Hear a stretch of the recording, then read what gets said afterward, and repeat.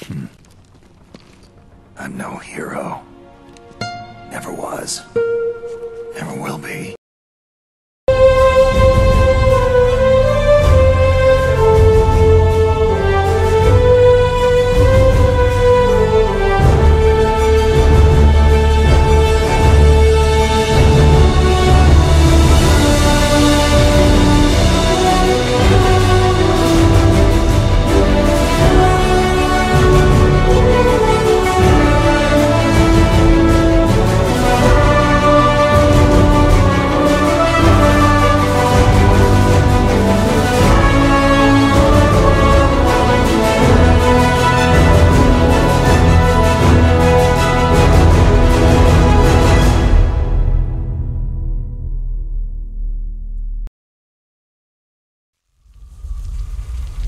Sleeping late as usual, eh, Snake? Liquid, you're still alive. I won't die. As long as you still live. Too bad. It looks like your revolution was a failure. Just because you've destroyed Metal Gear doesn't mean I'm done fighting. Fighting? What are you really after? The restoration of the era when warriors such as us lived as we should. That was Big Boss's fantasy. It was his dying wish. When he was young during the Cold War, the world needed men like us. We were valued then. We were desired. But things are different now. With all the liars and hypocrites running the world, war isn't what it used to be. We're losing our place in a world that no longer needs us. A world that now spurns our very existence. You should know that as well as I do. After I launch this weapon and get our billion dollars, we'll be able to bring chaos and honor back to this world gone soft. Conflict shall breed conflict. New hatreds will arise, and our own biosphere shall steadily expand. But as long as there are people, there will always be war.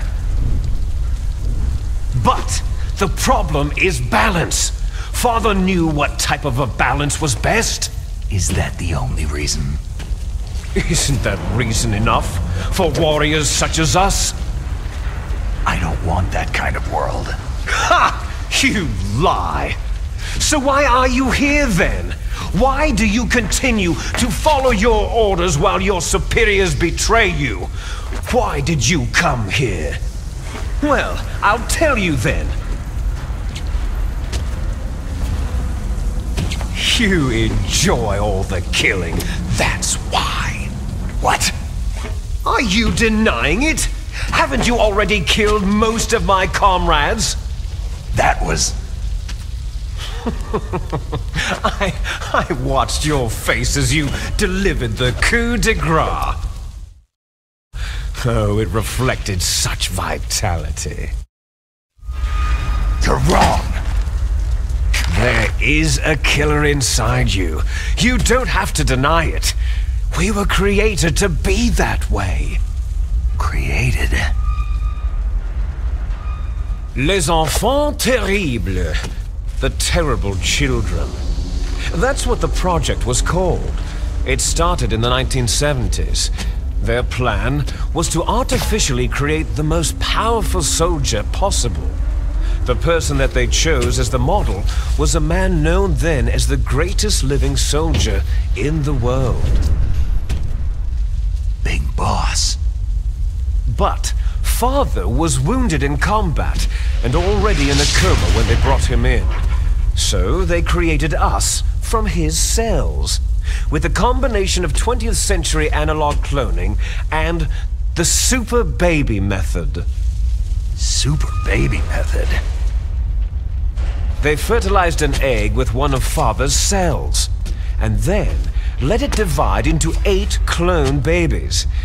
Then they transferred the clones to someone's uterus and later intentionally aborted six of the fetuses to encourage strong fetal growth. You and I were originally octuplets. Octuplets? Yes. The other six of our brothers were sacrificed to make us. We were accomplices in murder before the day we were even born. So, it was you and I, two fertilized eggs with exactly the same DNA. But they weren't finished yet. They used me as a guinea pig to create a phenotype in which all of the dominant genes were expressed to create you. I got all the recessive genes. You took everything from me before I was even born. But you and I aren't his only children. What? The Genome Soldiers. They too are his progeny, carrying on his genetic legacy. But unlike us, they carry it digitally. With the completion of the Human Genome Project in the last century, the mysteries of humanity were laid bare. Thanks to Father's DNA, they were able to identify more than 60 soldier genes responsible for everything from strategic thinking to the proverbial killer instinct. Those soldier genes were transplanted using gene therapy into the members of the next generation special forces. That's how they became the genome soldiers. That's right.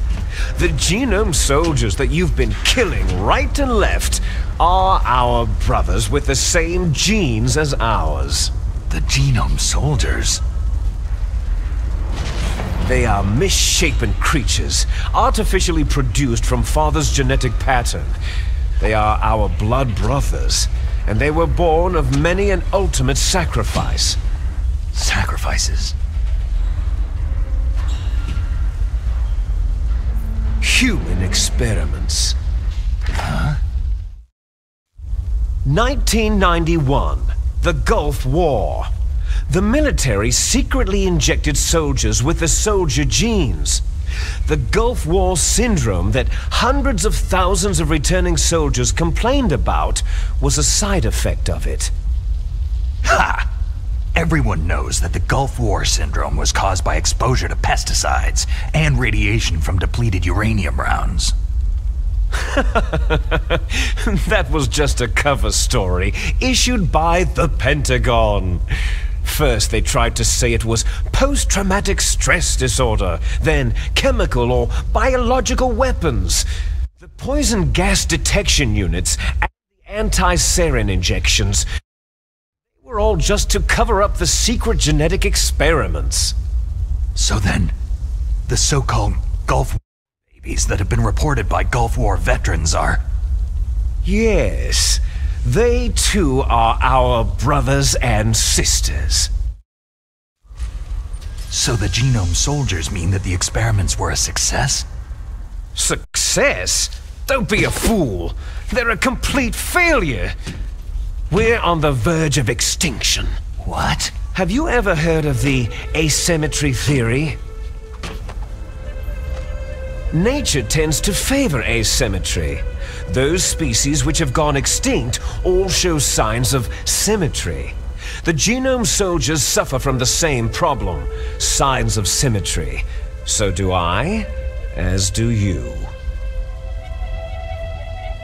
That's right. We are all on the verge of death at the genetic level.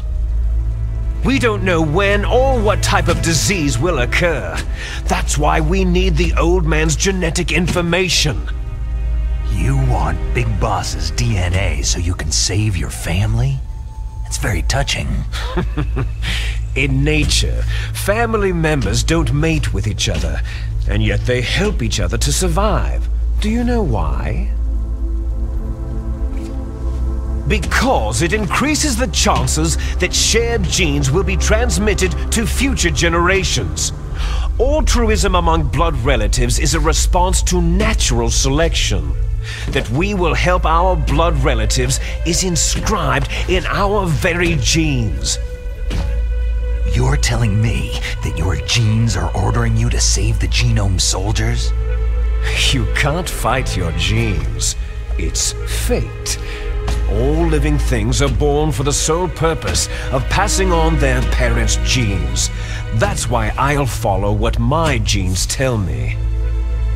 And then I'm going to go beyond in order to break the curse of my heritage.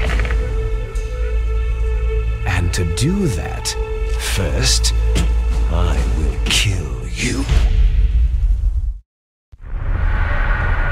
Look behind you. Meryl?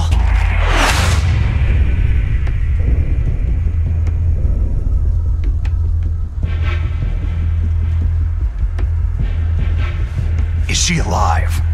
Hmm. I'm not sure.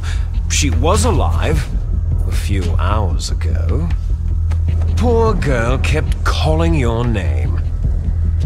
Meryl. Stupid woman.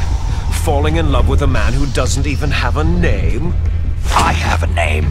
No. We have no past, no future. If we did, our fate is nothing but what is determined in the genes we inherited from our father. Let Meryl go. As soon as we finished our business, we're almost out of time. You're talking about Fox Die. No. It seems now that the Pentagon knows that Metal Gear is destroyed. They've arrived at a decision. They won't even need a BDA. If you want the details, why don't you ask your precious Colonel Campbell?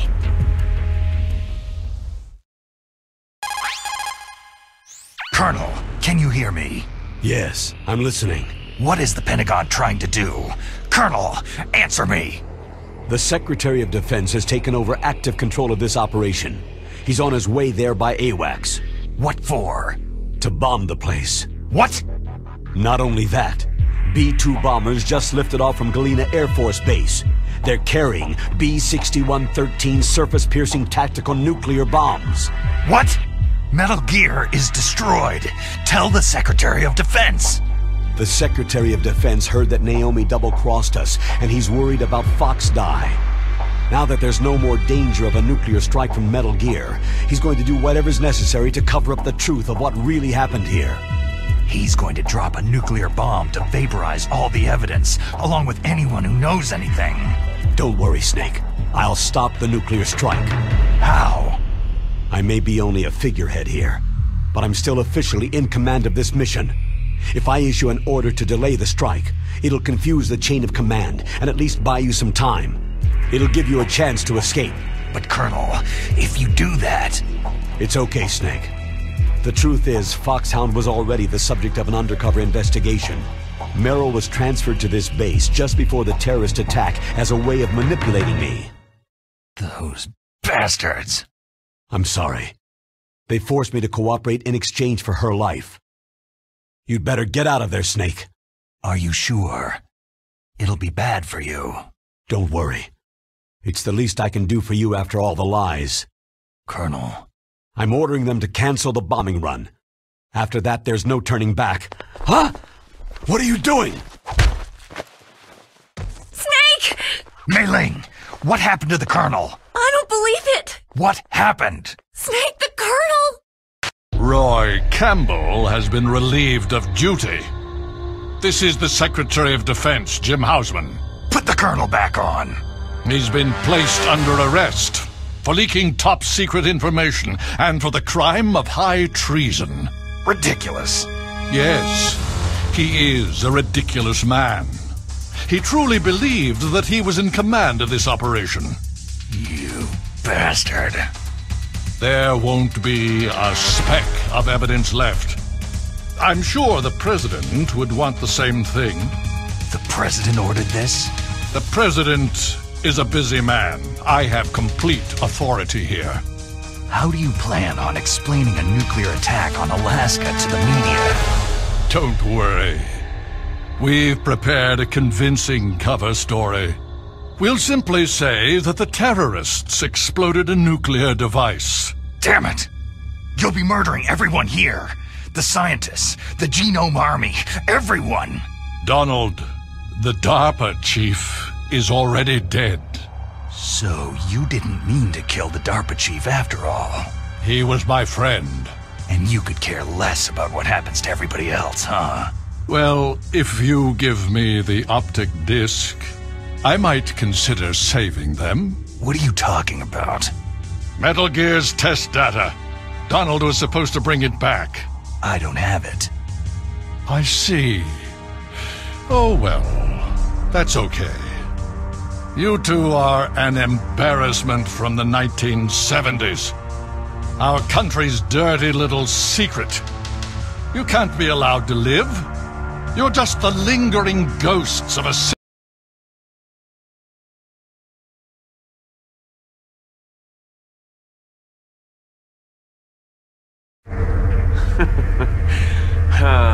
there's no way out for us. Let's finish this before the airstrike. You stole everything from me. I shall nullify you and your genes, and I will take them all back. She'll make a beautiful sacrifice for our final battle. Do you see this?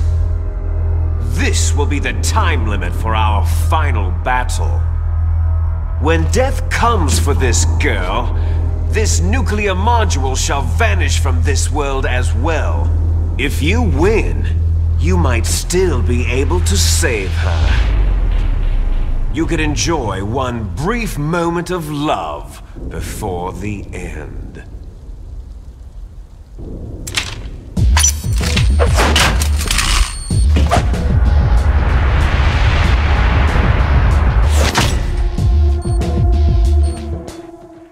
And if you cross this line, you'll fall. At this height, it'll kill even you.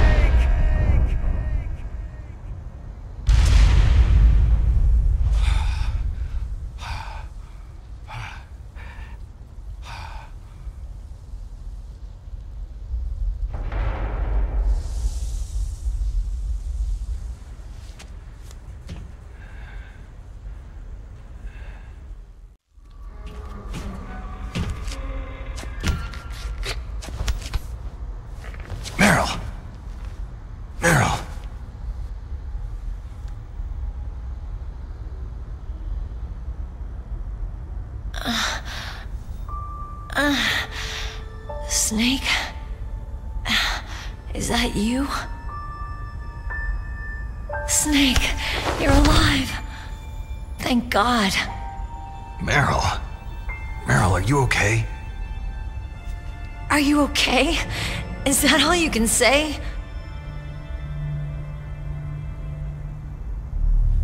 Meryl, you must have been terrible.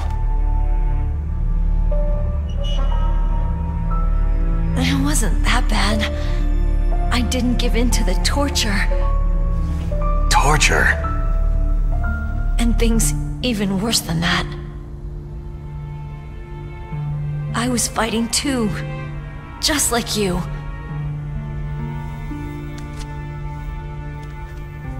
You're a strong woman. Fighting them made me feel closer to you. I felt like you were there with me. It gave me the strength to go on. But I was scared. I'm sorry. Don't say that. But it made me realize something.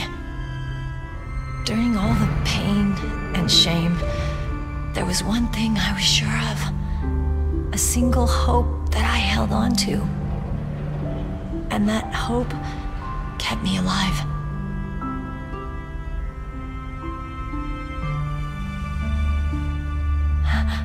Snake, I wanted to see you again. Meryl.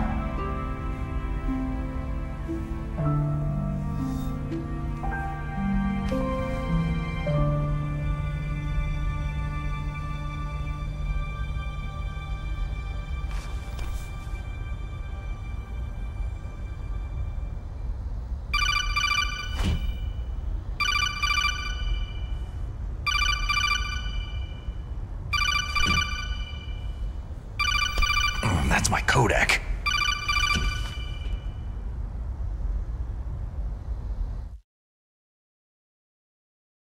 Snake, it's me.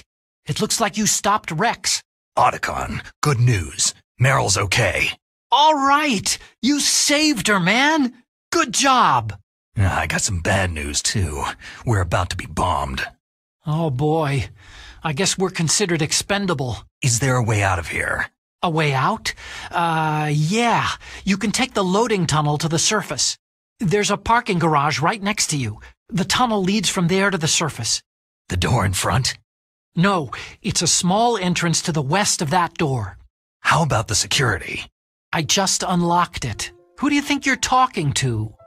I'll take care of security along your escape route, too. What are you going to do? Me? I. I'll stay here. Are you crazy? I need a little more time to take care of your escape route. But Unlocking the security doors is difficult work. Only I can do it. Otacon. Don't worry. I'm staying here. It's my own decision. Otacon, this is a hardened shelter, but they're going to use a surface-piercing nuclear bomb. It won't hold. I'm through regretting the past. Life isn't all about loss, you know? Snake, I'm a complete person now. I've found a reason to live. Good. Don't die on me. Same to you. Take care of Meryl, okay? I will. Okay, I gotta go. I promise I'll do something about your escape route. Thanks. Thanks. Oh, that sounds nice. I believe in you. Thanks, Snake.